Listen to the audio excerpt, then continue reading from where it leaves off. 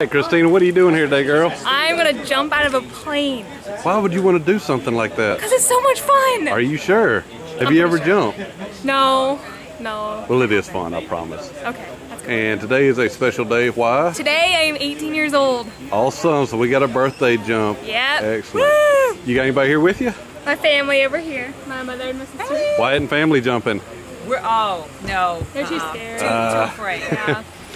All right, girl. In just a second, we're going to fire the otter up. We're going 14,000 feet above Lumberton. Wow. And then we're jumping out. You think you're ready? I'm ready. You sure? Yeah, I'm pretty Because sure. when we jump out, we're going to fall back at the ground at 120 miles an hour. Ooh, Okay. All right. You got anybody at home you need to say something to? Um, I love you all. Bye. All right, girl. Let's go have some fun with this guy, okay? All right. All right.